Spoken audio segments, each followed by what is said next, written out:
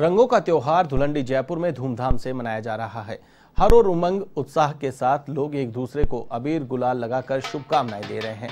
हालाँकि कोरोना संक्रमण के कारण प्रशासन की सख्ती के चलते इस बार सार्वजनिक स्थानों पर मिल रहे हैं। लेकिन कॉलोनियों में धुलंडी की धूम देखी जा रही है।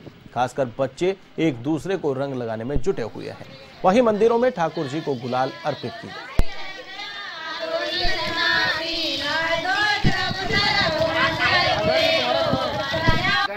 आएगी किसी तो कोरोना संक्रमण के